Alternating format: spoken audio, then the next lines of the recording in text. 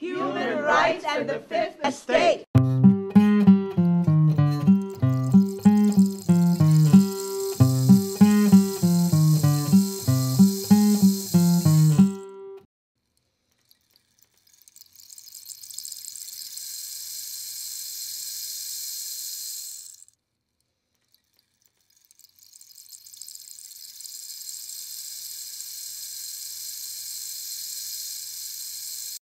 They checked on the computer and they stopped my father. They didn't let him get on the plane, and they my father got detained at that day, and they set me on the airplane, and I came to United States by myself.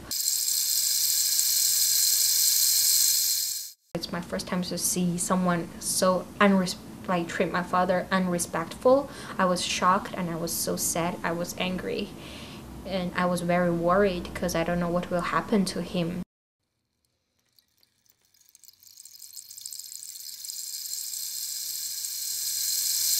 The government finally charged my father. They just published this news that they charged my father as a separatist.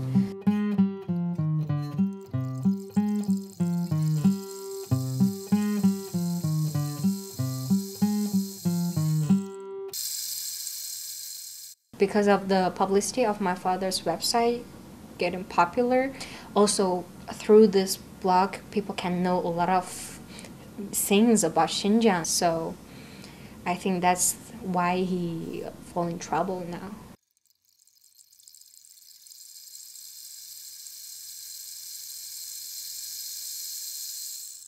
First of all, uh, they will speak English to us, and then since we spoke Chinese, they said, "How do you know Chinese?" Because and we respond because we are Chinese, so of course we speak Chinese.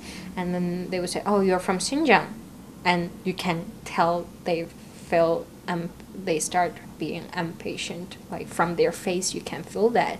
And they just they were in front of you and then that time they will just go away or walk around and not being with you helping with you for shopping anymore like that. By creating this website my father's website he was trying to let more people know about the culture and he wanted also advocate that people should treat whatever who, whoever you are, that you should be treated same equally, whatever you are, Han Chinese or Uyghur or other minority ethnicity people. So he wanted to he wanted Uyghur people can get same job opportunity and same of course the attitude should be like same when people meet each other like people can be communicate very well that's what my father wanted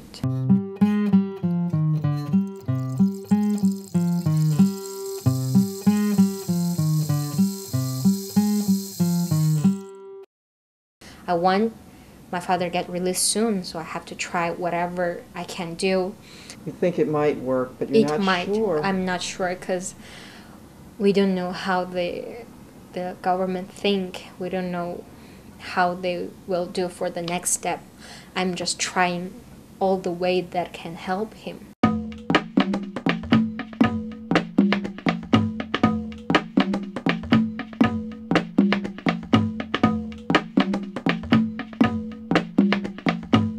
Barred from going to China. I flew into Beijing with a valid visa, passport, and I was put into detention at the airport and sent back on the first plane.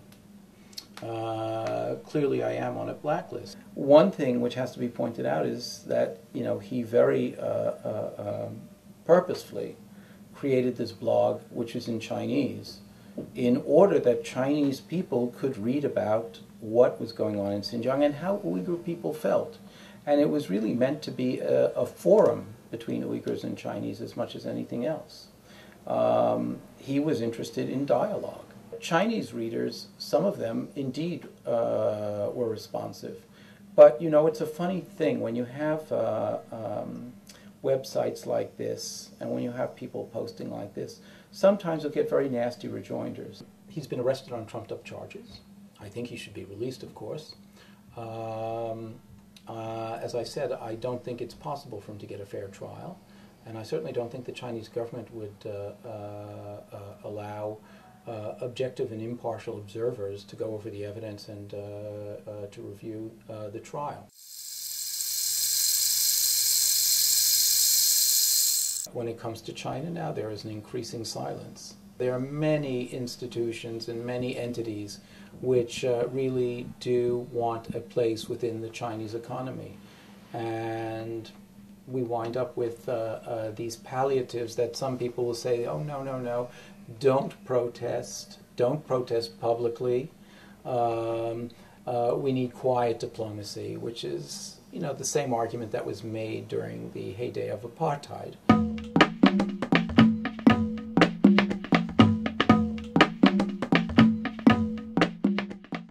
Americans should care about this because a threat to free expression anywhere in the world is a threat to it everywhere.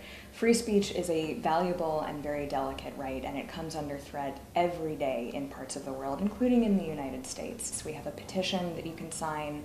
Um, there's an open letter that we put out from a number of prominent writers to the Chinese government calling for his release.